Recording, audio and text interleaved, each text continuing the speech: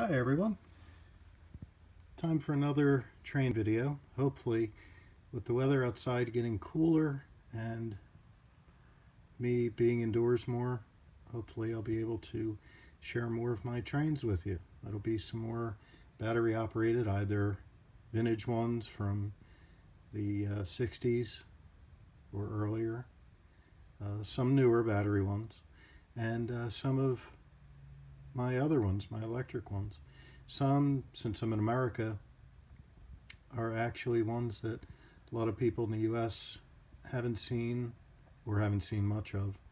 Uh, some of them folks here really didn't know existed and I just love things, trains from Europe, obscure makers and uh, because it shows the imagination and the inventiveness that different makers had. Now, as far as this one goes, uh, somebody on YouTube that I subscribe to and watch his videos, Mark Filcher, uh, got the idea to look for these from him. And he was saying in one of his uh, videos, the first trains he received were by Playcraft. And uh, Playcraft was marketed that name in the UK was made by a French company named Jouef, and uh, they're a pretty good maker of French trains. Um, I have an Orient Express, which I'm with the movie coming out this coming weekend in the U.S. I'm going to shoot another video of that set that I have, which is by Jouef but marketed in the U.S. by Bachmann. Anyway, um, Mark had a video highlighting some of his playcraft and it really got me interested in looking for some of it. And I uh, found this one from a seller in the UK. Uh, bought it on eBay. And uh, some of you are looking that know Playcraft, looking at the box lid and uh, thinking you know what's inside, but I think the lid was switched with another one. Uh, and also a lot of things people mention sets like this and they talk about the artwork on the outside and then what's inside being disappointing because it's a realistic scene on the outside. I love artwork like this because it stirs the imagination. Whatever's inside, it really gets the child who gets this. It gets their imagination going, thinking whatever's inside is going to be a crack express train or a goods train working the branch line in some uh, village somewhere, you know, with the rolling green fields and everything. And it gets the imagination going. I love that. Anyway, to this set, uh, Playcraft Railways. The box is marked for the Clapham goods train. And you can see part of the Clapham goods train on here, the diesel shunter, and then also inside will be the um, goods van and the open wagon with a guards van. And uh, also in the box artwork, there's the Class 29 diesel, I think was in the uh, their passenger set, I think called Euston, I'm not sure. There's also the night ferry set pictured on there and some others. Anyway, uh, we're going to take a look inside the box in a second. I'll show you why the box lid has actually been switched. Okay, and uh, before I take the box lid away, you'll see the silhouette on there of the Clapham goods train. Diesel shunter open, uh, wagon, goods, van, guards van. And it has made in France exclusively for Playcraft Toys Limited, London. So take a look inside, and uh, actually it's in gorgeous condition. Get these out and uh, if it's readable, um, if you want to pause it and read them. Uh, this is how to get the best performance from your Playcraft Railway. I love this because right now the lucky child who opened this, uh, right now he or she is got their own railway just within this box. You know, they can just start out right away.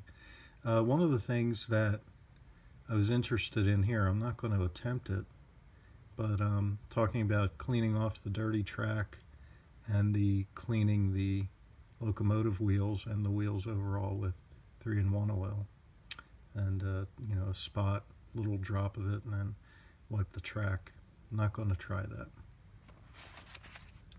Here's also a ad sheet for the E1 short circuit proof power unit this is for AC main supply so it would go in and then um, feed out to DC. It says it's better than batteries. And you can also operate any motorized appliance where current consumption and voltage specifications fall within the rated output. And here is the set. Now for those of you that know Playcraft, the Clapham goods train came with a diesel shunter. So this set is the Broad Street goods train which I'm perfectly fine with because I love the steam locomotives. Let's pull this in closer. And the goods wagons are in gorgeous condition. Still have gloss on them. The goods van has doors that open and close. It's a locomotive and you can see the brass gear. The open wagon. Locomotive the person I bought it from on eBay, fantastic seller, he tested this before sending it out. He was going to give it a cleaning and service. And the original chassis, there was something wrong with the motor and gearing. And he went ahead, found another Playcraft 040 and switched out the chassis for me. Sent me the original too. So I guess I could use any of the gearing or whatever I need if, if I need parts. This looks like the previous owner had also done some painting. They painted it in matte black so it's not as glossy.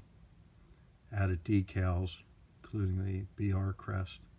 Painted gold the some of the um, piping coming down from the domes. Uh, brushed the little builder's plaque on the tender section on the back gold. Put number 101 painted the buffer beams and the small lights. And these have the Peco type couplers. And I'll take this open wagon out. It's absolutely gorgeous condition. Couplers have no sign of rust. They're a little dusty, but the inside's a little dusty. But it's absolutely gorgeous. And the track is in gorgeous condition. It doesn't look like it was run on at all or worn very much. So um, I have a small loop of track set up um, because I wasn't sure with the flanges on these wheels if it was going to get stuck in the switches on my layout. So let's uh, go over to the small loop of track and we'll give it a try. Okay, we have the locomotive on the loop of track. Just a simple loop of Bachmann easy track. And then to run it, just using the simple Bachmann controller that comes with their basic sets. It's actually a really good controller. Um, so this is the first run for the set. Um, so let's see what we can do.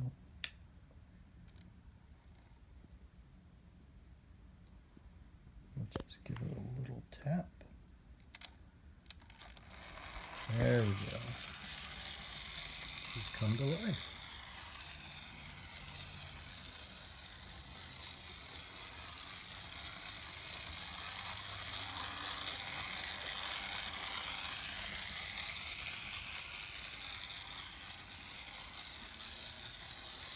Give it a little more juice.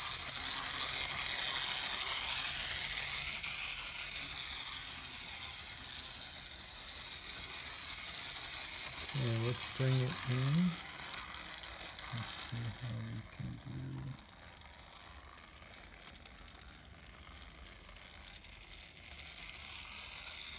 Not bad for slow speed. Let's slow it down here so we can get it.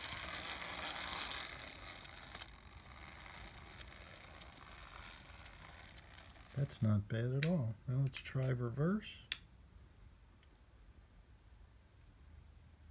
Give it a tap.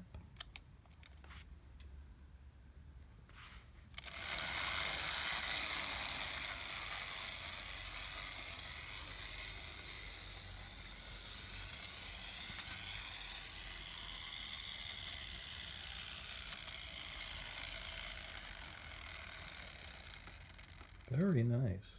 Okay. And give it some forward.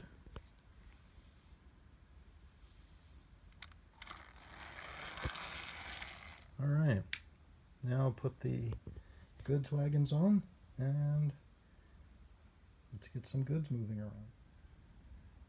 Okay, so we're all set to go. Have a handsome set of goods wagons here, and the goods van has sliding doors. So you can put whatever cargo inside. So you have the goods van, open wagon, and a guards van. And, uh, you know, I know Jouef made these, and they're of a French mold. In fact, can't really zoom in that well but I think somewhere on the goods van you can see SNCF. But for me, it's the imagination of it. It's enjoying it, having fun with trains. But I love these trains that are kind of out of place and um, they're done some little way here or there to try and fit in with the market they're selling them for. And it kind of helps the imagination for me, I just love those kind of international anomalies, if you will. Anyway, speaking of having fun, let's give this some juice and see what we have.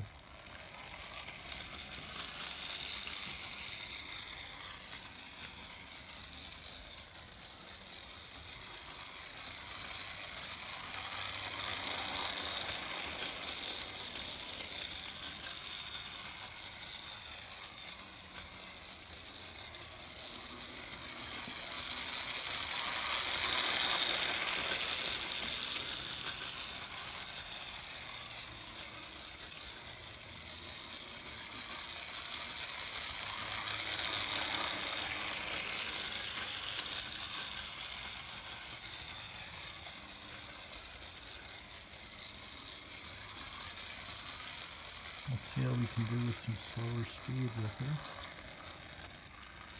Oh, that's very nice. Wow. For a low-end train, something that I read was targeted more to sell at Woolworths in the UK to uh, kind of take the low-end market. That's actually really nice. The motor actually sounds quieter than some more expensive trains I've gotten, believe it or not.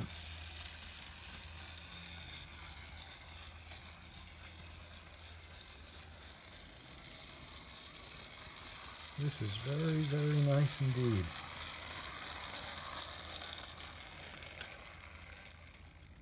Okay, there you have it. And uh, the Playcraft Broad Street goods train.